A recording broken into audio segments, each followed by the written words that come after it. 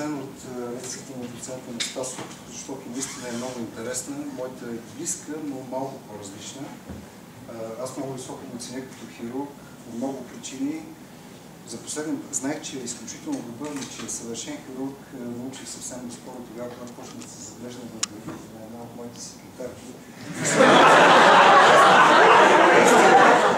И се оказа, че всъщност те са продукт на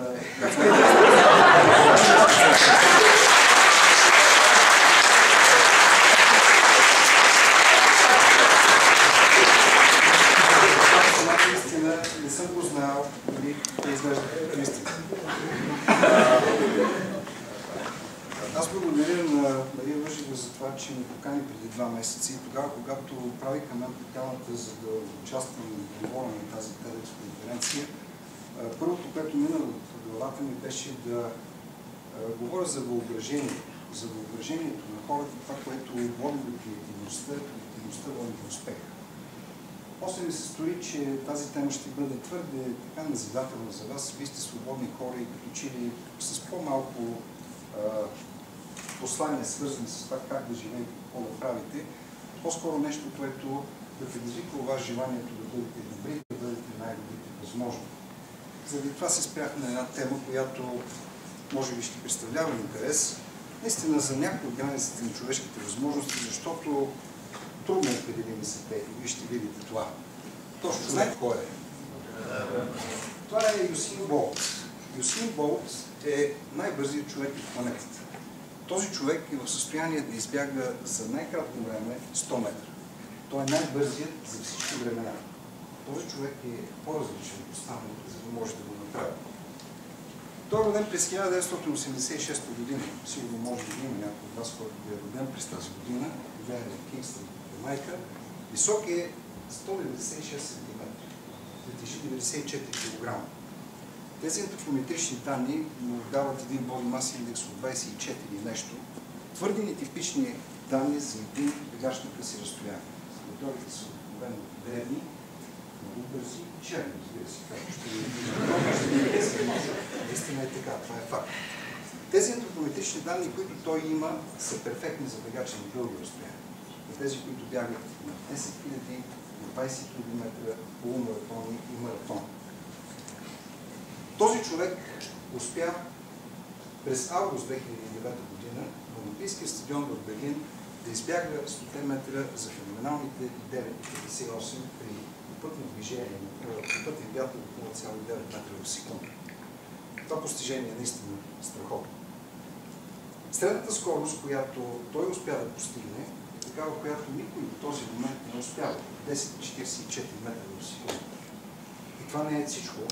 Най-високата постигната скорост на 65-я метър е 12,27 метра в секунда. Той за първи път успя да постигне по-висока скорост на бягане, отколкото беше най-доброто постижение при 200 метра. Защото най-високата скорост на бягане се постига при 200, средна скорост се постига при 200 метра. Стартовата му реакция е 146 милисекунди. Също един феноменален, незапомнен момент резултат. Това, което е особено, това съм го извел по този начин, тези 100 метра той успява да ги направи с 41 крачка. Тайсън Гара, който е вторият сегмент, на който беше световен рекордьор за няколко месеца, прави тези 100 метра за 44-45 крачки. Може да си представите каква е разликата. Тоест, една крачка е 2,44 метра. Възниква въпроса, най-атрактивната дисциплина в леката атлетика. Не празно използвам това, защото 2012 е годината на Олимпийските игри в Лондон след няколко месеца и ще видите какво ще се случи там. До кога ще бъде този рекорд? Винаги този въпрос е стоял. Знаете ли какво е това красиво животно? Гепарда. Това е най-бързото животно на планетата. То бяга със скорост 31 метра в секунда. Тежи около 60-70 кг, високо около 1,20 м, около 2 метра. Дали е възможно някога двете скорости да бъдат доближени? Доколко те могат да бъдат доближени? Това е един въпрос, който наистина вълнува много хора. Кой може да го постигне? 12,27 максимална скорост, 31 метра за секунда максимална скорост. Ускорението, което Гепарда успява да направи, е 100 км в час за около 2 секунди и половина. точно толкова, колкото на Формула 1. Ако погледнем тренда на рекордите в последните 100 години, времето в което е правено реално измерване, от 21 до настоящия момент, 2009 година, всъщност, когато Юсин Болт поставя рекорда, виждате кривата, че има няколко основни спада. 21 година Чарлз Падок 10,4. 36 година, може би някои от вас сте чували, Джеси Оуенс, също един феноменален бегач, поставя рекорда от 10 който остава в 20 години без да бъде пикнат. На същия този олимпийски стадион в Берлин, на който бяга Юсин Болт, разбира се, по по-различно условие. След което се въвежда електронното измерване на скоростта, защото това са фактори, които трябва да бъдат отчитани. Когато се появяват стопните след излишните запитая, това е момента. 68 година, 68 година Хайнс, 9,95, след което следват имена, които вече вие сте чували, Карл Луис, Морис Грин, Морис Грин Тайсън Гай и най-накрая Юсин Болт. Погледнете филата тук накрая какво става. Възниква въпросът за кога колко е възможно да си постигне. Какви са границите реални на човешките възможности. Ако използваме елементарния логистичен модел, излиза, че след около стотина години, някъде през 200-та, ще стигнем граница от 9,4. Ще се намери някой, който да може да го направи. Дали това е възможно? Отговор трябва да търсим в няколко посоки. Има много фактори, които оказват влияние върху успеха, включително на нашия собствен годишния живот, въобще професионалния живот. Много от тях са външни. Кои са външните фактори? Ако щете обувките. Това е модела на Nike, Nike Gold, с който бяга Юсин Болт, които са специални обувки, но те са достъпни за всички. Те тежат не повече от 150 грама. Както виждате, те са отворени с дупки, не се ползват чорапи, имат спайкови, които са регламентирани до 9 мм. Покритието на пистата. То е стандартизирано. Стандартните писти, които се използват в момента за световни европейски и олимпийски шампионати с покритие между 5 и 9 мм. Това и денивелация от 10 см. Някои от тях са бързи, тези, които имат по-голямо покритие, по 8 мм, и другите са по, извинявайте, те са по-бавни, те по-бързите са тези, които имат покритие около 5, 4, 5 мм. Но и те са с фактор по-малко от 1% възможност за влияние върху крайни резултати. Географските фактори. Не все едно и също дали бягате в Мексико Сити или бягате на морското равнище, защото съпротивлението на въздуха е съвършено различно при 3000 метра на морска височина. Техническите правила, те са унифицирани за всички. Фалстарта, това е времето на реакция. Фалстарт има тогава, когато е по 100 милисекунди. Реакцията на спортиста счита се, че това е фактически слухово-двигателната реакция, която може да се осъществи всеки. Ако е за по-кратко време, явно той е избързал. Коридора, той е широк 1,22 м. Вятър е важен. 2 метра в секунда е стандартният вятър на срещаните по пътя, за да се проведе и да си признае един рекорд. Това са обективни причини, обективни фактори. Освен тях съществуват и редица чисто субективни. Те са биомеханични. Те са в резултат на реалните възможности на спринтьора. Времето на реакцията при старт. Взривната сила, която развива Юсин Болт и неговите колеги е изключително голяма. Чита се, че тази експлозивна сила на мускулите е водеща в крайния резултат. И е. Развива се хоризонтална сила, която достига 1,5 собственото тегло. Представете си, той е 94 кг. Близо 150 кг сила се развива в този първоначален период около 150 милисекунди. Акцелерационната фаза на ускорение. После фазата на максималната скорост, която е между 60 и 70 специално Юсин Болт на 65 метра при поставянето на световния рекорд. Фазата на децелерацията на забавянето, последните 10 метра, наблюдавайте ги тези неща, защото те предстоят, и финала, който е критичният момент. Фазата на децелерацията се изчита, че се дължи на настъпването на централната умора. Но в известна степен и на малко количество това, което се натрупва, след малко ще видите защо.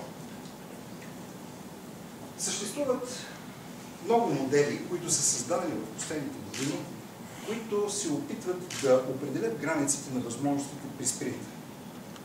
Една част от моделите са чисто математически. Те са базирани на тренд анализа, които са основани на детерминистични компоненти, отчитат тренда или пък на някои стокастични, които отчитат крайни отклонения, случайности.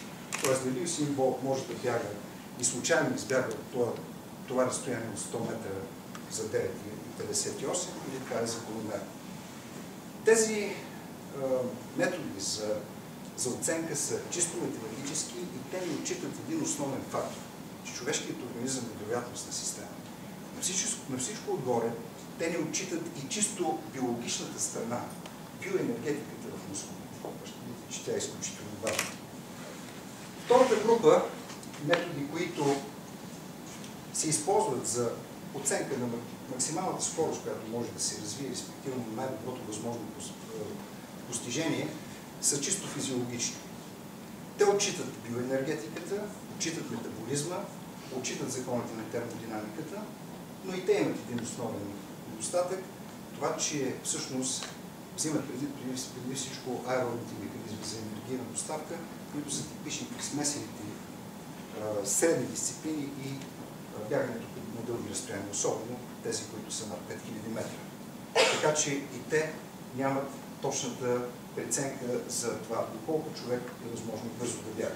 Счита се, че използвайки тези модели, някъде 9,2-9,3 са пределите на човешките възможности да се достигат. Най-модерните методи, които в последните няколко години особено се експлуатират, това са методите и моделите, които отчитат и физиологичните, и чисто физичните фактори, и математическите.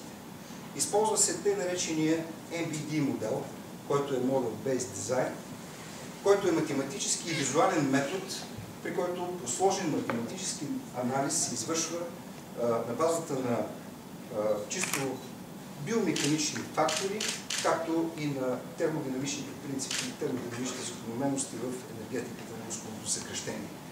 Чрез този метод Дени, който направи изключителен фурор в съвременната спортна физиология, установява, че преди топ спринтьор, който има биомеханична ефективност около 57%, това е реално КПД, може да постигне на морското равнище резултат от порядъка на 9,3. Склонни, склонни сме да му вярваме. Законите на физиката са еднакви, разликата всъщност е в физиологията на хората. Съвсем накратко по отношение на биоенергетиката, откъдето проистича всичко. Спринта на 100 метра трае 9,58, или 10 секунди. Първите 3 секунди единственият източник на енергия е наличния бенозин трифосфат в мускулите. В следващите няколко секунди, до към седмата, осмата, се включват като долу на фосфатни остатъци креатин фосфат. И чак в последната секунда взима превес до известна степен гликолитичния път за доставка на енергия, което води и до известна продукция на лактат и оттам до забавяне на бягането в последната секунда, секунда и половина. Това са приблизително 10-15 метра. Биомеханичната ефективност е съотношението между механичната работа и енергията, която е произведена от аденозин трифосфат на спортиста. Пак казвам, то спортистите имат биомеханична ефективност от порядъка на 57, 56, 55%. Това, което е интересно, е установено то в последните години, че максималната скорост при спринта зависи от силата на натиска на краката върху земята. Юсин Болт е 94 кг. Силата на натиска е по-голяма, отколкото на Тайсън Гай или пък на другите негови колеги, да ги нарека. Така че една от, една от причините за по-добрия му резултат е неговите антропометрични данни. Другата причина, това е разпределението на мускулните влакна в състава на смесените мускули, които участват в бягането. В гастротенеус 40% от влакната по непубликувани данни на Юсин Болт са бързо съкрещаващите се фастович мускулни влакна или FT мускулни влакна. Това е една от причините той да бяга много по-бързо и да развива много по-ефективна взривна сила при съкрещението на мускулите. Още нещо, което всъщност е най-новото, то е свързано с факта, че максималната скорост при спринта зависи от експресията на ACTN3 гена в FT мускулните влакна. Какво представлява този ген. Локализиран в 11 хромозома, има три генотипни форми, RR формата, RX формата и XX формата, като RR формата е тази, която е отговорна за максималното постижение. Тези резултати и тези данни са данни от преди година, година и половина и те са дело на един голям екип от учени в университета в Глазго. Фактически ACTN3 гена с тези две генотипни форми детерминира резултата от спринта. Затова защото този ген е отговорен за един бълтък, който се намира в ефтермускулните влакна, който се нарича алфа-актинин 3. Ето по този алфа-актинин 3, котвичките, които вие виждате. Той се оказва, че е отговорен за стабилността на актиновите нишки. Оттам идва и резултата на тези големи спинтьори, които вие виждате. Защо е майка? Ямайка е интересна държава с бедно население, 2 милиона и половина, известна е с 4 неща. Първо с това, че 80% от населението слушат Милана. Второ, че има фантастичен ром. Трето, че е родината на регито, Боб Марли, Питер Тош. И четвърто, че има най-добрите спонтьори в света. Оказва се, че 70% от населението е хомозиготно по тези силни RL и RX форми на гена. Не е случайно, ако влезете в историята на майка, ще видите, че когато Колумб преди 400 години отива там, толкова масово заразяват с генетически болести населението, че почти бива изстрелян по този начин. Доставят се ново население от африканския континент, но пак от една зона, така че относително затворена популация, която в рамките на 400 години живее един твърде затворен живот, така че не е очудващо, че тези факти, които са доказани в последните 5 години, са една реалност. Както виждате, успехът е до голяма степен резултат на генома. И съвременната спортна медицина, съвременната спортна физиология, която се занимава с спортния подбор, до голяма степен е в ръцете на съвременната генетика. Времето е една физична, философска, но и економическа категория. 5 август тази година на Олимпийския стадион в Лондон ще се проведе финалът на 100 метра гладко бягане. Цената на билетите е между 75 и 725 баунта. Само за да могат хората да наблюдават тези 100 метра, които ще бъдат избягани. Тоест 72 паунда на секунда. Твърде скъпо удоволствие, но билети няма. Трябва да ви кажа вече. Вие ще бъдете свидетели, защото съм сигурен, че ще гледате по телевизията нещо криминално. Сигурен съм, че резултатът ще бъде близък до 9.50. Но за да бъде такъв, не само генетика, хиляди пъти тези 100 метра го минава.